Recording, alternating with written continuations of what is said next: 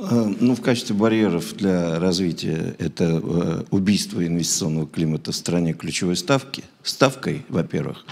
И э, ни, никаким повышением ключевой ставки, тем более на таком уровне, когда она в два с половиной раза превосходит уровень инфляции, по крайней мере официальный уровень инфляции, не сбить инфляцию, на, там, в два раза ее не понизить.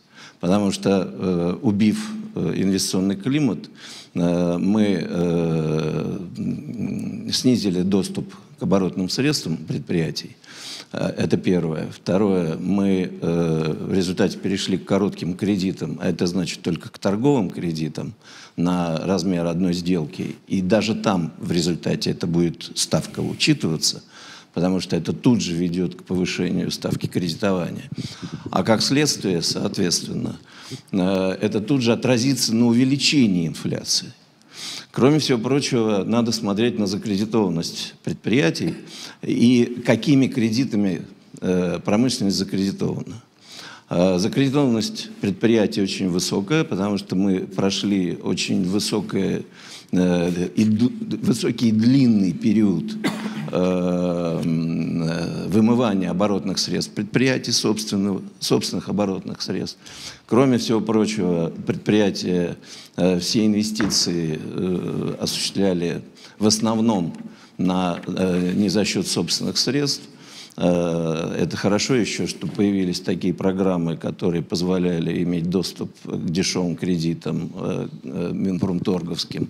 И появились программы стимулирования инвестиций, но эти программы теперь не будут опираться на возможности доступа к коммерческим кредитам, а при этом эти программы не стимулировали конечный спрос в целом ряде случаев. Ну, например, в нашей отрасли э, примерно э, 60% спроса – это спрос э, так или иначе связанный с бюджетом.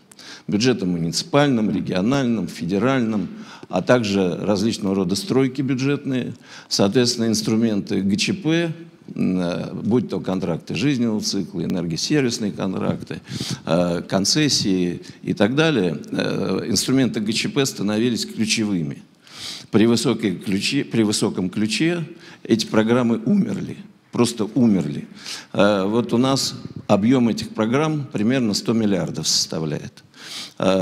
И мы видим, как остановилось дальше уже, уже подготовленные концессии – как они остановились у нас. Э, кроме всего прочего, э, до недавнего времени, до СВО, э, мы экспортировали свою продукцию в 43 страны мира. Если говорить о недружественных странах, ну, проще сказать, что из дружественных стран мы экспортировали там в пяток стран. Все остальное было недружественные страны. А, при этом, когда я говорю дружественные, там Индия, Иран входят в их число. А, недружественные. Вот мы сейчас э, отгружаем продукцию в США. И, как, да. Какими-то... Нет, прямыми. Да? Да, из России. Э, мы э, от Португалии до э, Грузии э, вы везде встретите нашу продукцию. В каждой стране. В Европе, если говорить. Там от Новозеландии на юге до, соответственно, там, скандинавских стран, вы везде встретите нашу продукцию. Поэтому э, в этом смысле э, мы чувствовали себя достаточно уверенно. Э, возвращаясь к теме ПО, у нас собственный ПО, но мы начали им заниматься в 1991 году. Mm.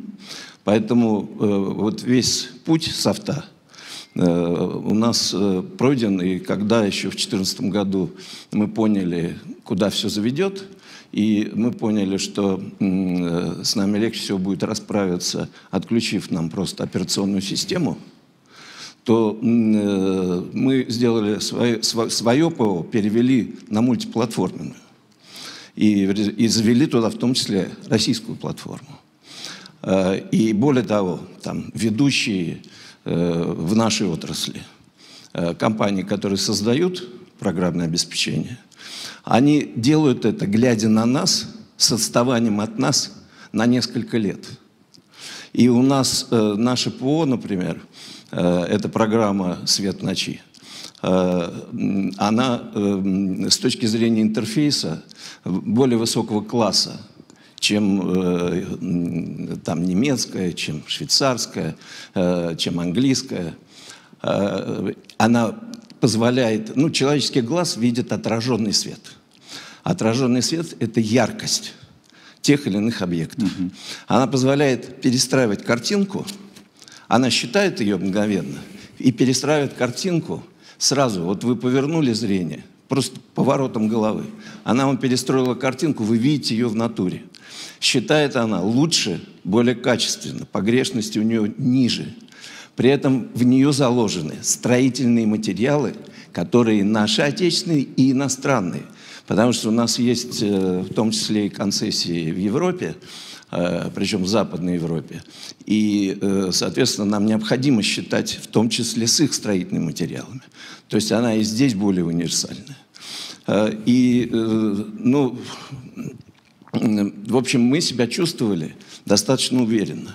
Уровень нашей импортозависимости, вот нашей компании, всего там был 5-7% э, по каким-то элементам. Сказали, что чувствовали себя уверенно. Сейчас как чувствуете себя? И сейчас чувствуем себя уверенно, потому что мы, э, собственно, переоснащение, хотя оборудование в основном, вот с точки зрения э, вот такого высокотехнологичного, в основном импортное. Чего тут скрывать? Э, есть отечественные, есть, но даже это отечественное все равно там э, блоки управления заложены, э, импортные, то есть с крупноагрегатной сборкой.